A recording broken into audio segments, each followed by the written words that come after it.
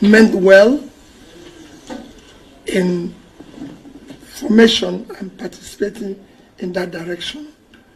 So it's a welcome development. And I believe that it's helped in the past. Because you look, if you look at those who fought for our independence and everything, they were in different political party formations and was able to show that first uh, democratic process in Nigeria, which is what we are all clamoring that we need to go back to now, where we have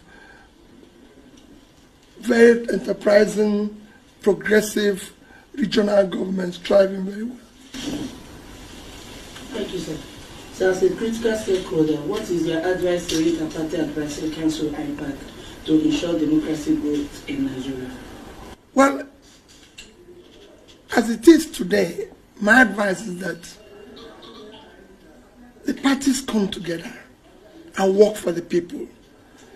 You could see today there's a, a, a gradual erosion of the tenets of democracy. Our political compass is heading in the wrong direction. So there's a need for the parties to come together to be able to rescue the situation as it is today.